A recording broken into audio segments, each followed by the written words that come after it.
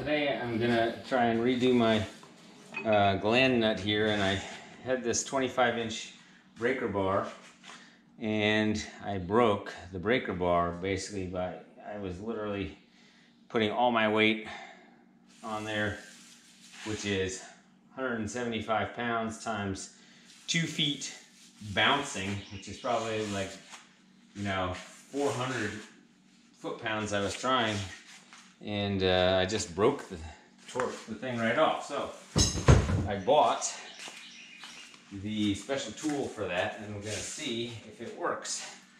What I bought is this one. This is the this is the torque multiplier and basically you put this guy on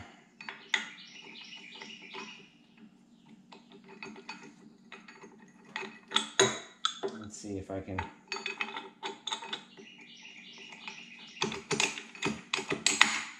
we go. So put that thing on and then it's got this little hex.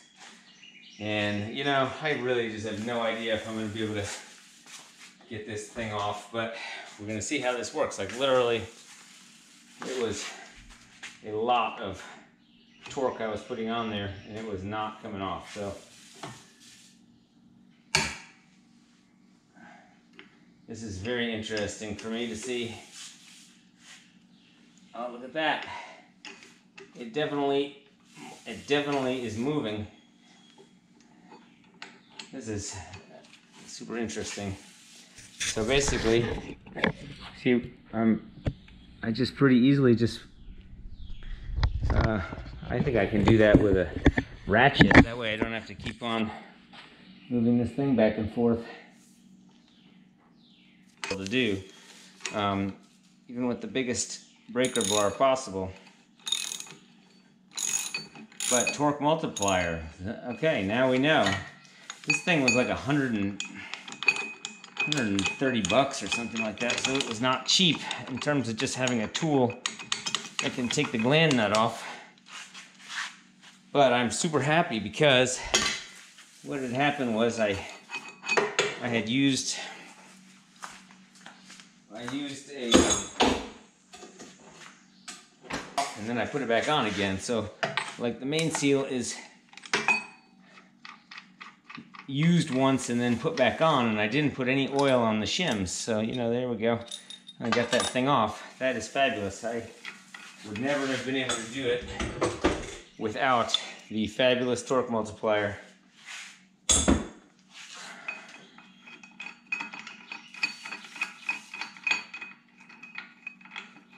All right, so what I'm going to do now is I'm going to take off this flywheel.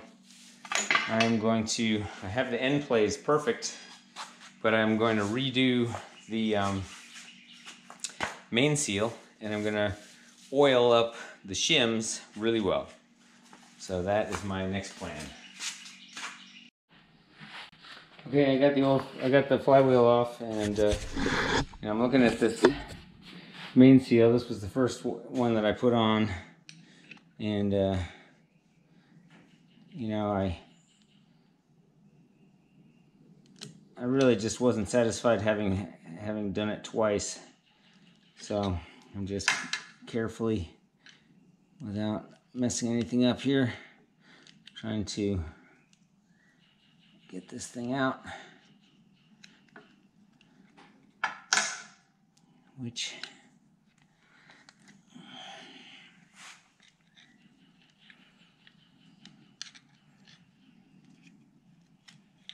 All right, so assuming that I did this once and this thing is, I guess, garbage, so I'm gonna go get the new main seal and uh, I'm going to put lube, you know, lube these uh, shims up and then I'm gonna re-apply the new main seal.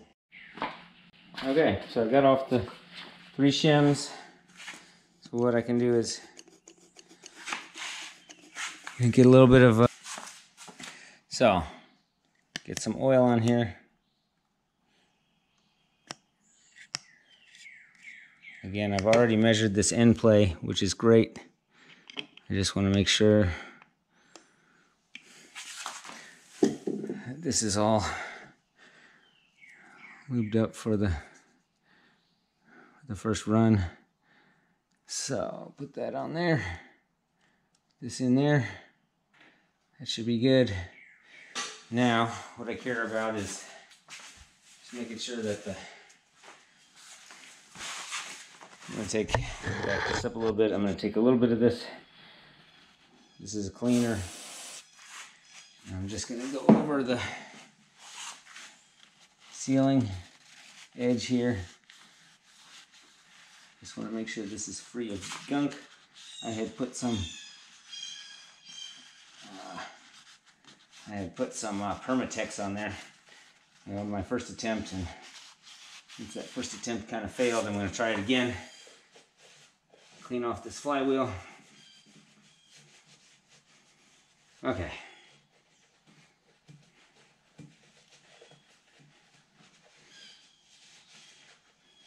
I think that's pretty good. So now I've got that lubed up. I'll just make 100% sure I'm happy with the amount of oil on that for the initial run. Now I've got to put on the main seal. So what I'm going to do is got this one here, new main seal. And I have this main seal tool. I'm to try it. I'm to try it with the dowel pins to just get it on there straight initially.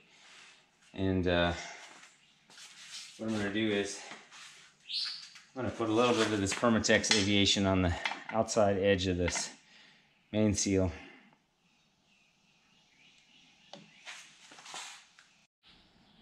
All right, I got a brand new thing of Permatex Aviation here. So I'm gonna just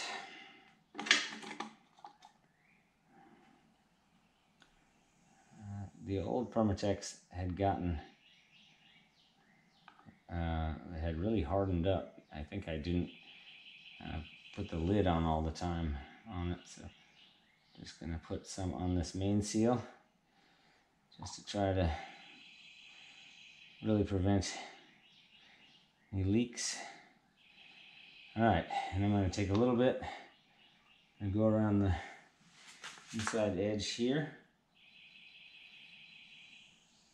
Again, not totally sure whether you need this or not. Some people probably wouldn't do it. I'm just gonna do it because I wanna make sure to not get the oil leaks. All right, so now I'm gonna take the main seal. I'm gonna just kind of start it in the right. Yes, it does. Okay. So now that should push it in there perfectly, uh, perfectly flat. That is. Let's see if this works.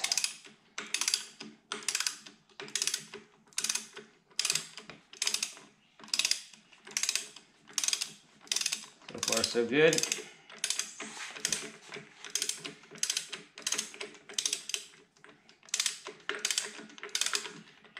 Okay, so then it hits the dowel pins and it's not all the way in.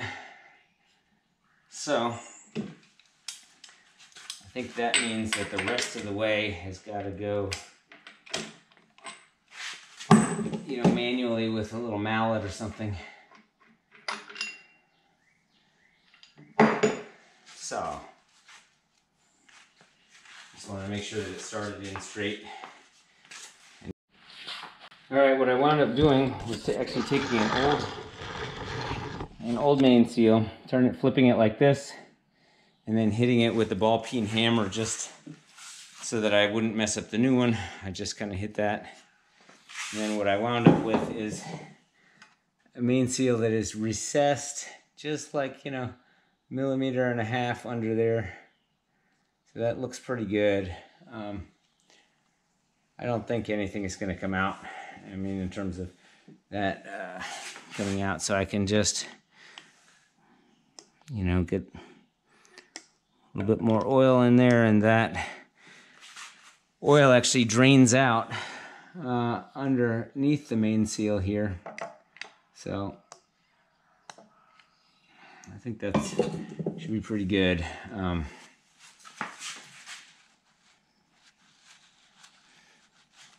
so as far as the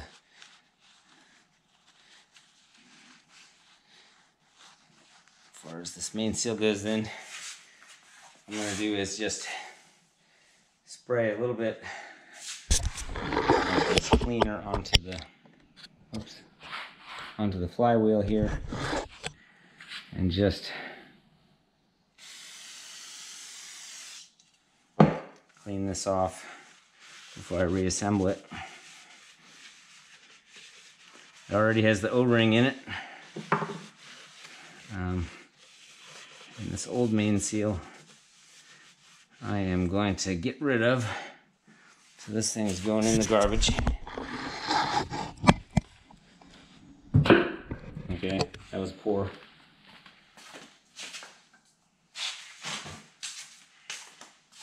So, new main seal looks great. So I'm gonna uh, put the flywheel back on and torque it down. Okay, flywheel is on. There it is.